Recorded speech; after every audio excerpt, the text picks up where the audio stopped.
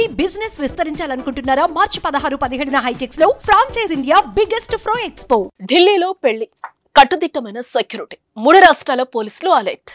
Metal డిటెక్టర్లు సీసీటీవీలు drone కెమెరాలతో పహారా.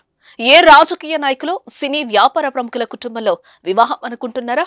అయితే మీరు పప్పులో కాలేసినట్టే. అక్కడ జరుగుతుంది గ్యాంగ్స్టర్స్ పెళ్ళి.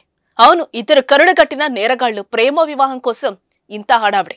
ఇందులో ఇంకో ట్విస్ట్ ఏంటంటే వరుడు పెళ్ళికి ముందే జైలు నుంచి విడుదలై మళ్ళీ ఆరు గంటల తర్వాత జైలుకి పోయాను. ఇందుకే వాళ్ళెవరు? ఇద్దరిపై ఉన్న కేసులేంటి వీరి పెళ్ళితో మూడు రాష్ట్రాల పోలీసులు ఎందుకు అప్రమత్తమయ్యారు? వాచ్ దిస్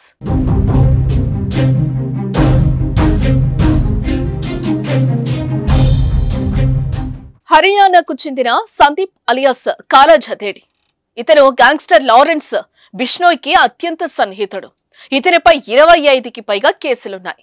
మహారాష్ట్రలో ఓ క్రిమినల్ గ్యాంగును కూడా నడుపుతున్నట్లు కాలాపపై ఆరోపణలున్నాయి. రాజస్థాన్లో సాగర్దన్ ఖడ్ అనే ఓ రెజ్లర్ హత్యతో సందీప్ క్రిమినల్గా మారి పెద్ద గ్యాంగ్స్టర్ వరకు ఎదిగాడు. అతడు ఓ లేడీ గ్యాంగ్స్టర్ పై మనసు పారేసుకున్నాడు. ఆమెనే అనురాధ చౌదరి అలియాస్ రివాల్వర్ రాణి. రాజస్థాన్కు చెందిన యువతి. ఈమె గ్యాంగ్స్టర్ ఆనంద్ పాల్ సింగ్ దగ్గర పనిచేస్తుంది. ఈమెపై ఛార్జ్ షీట్ ఉంది. వీరిద్దరూ కలిసి ఒక కేసులో అరెస్ట్ అయ్యారు. తర్వాత అనురాధ బెయిల్పై బయటకు రాగా కాల ఇంకా జైల్లోనే ఉన్నాడు. అయితే నాలుగున్నరేళ్ళుగా ప్రేమలో ఉన్న వీరిద్దరూ పెళ్ళి చేసుకోవాలని నిర్ణయించుకుని నేడు ముహూర్తం ఫిక్స్ చేశారు.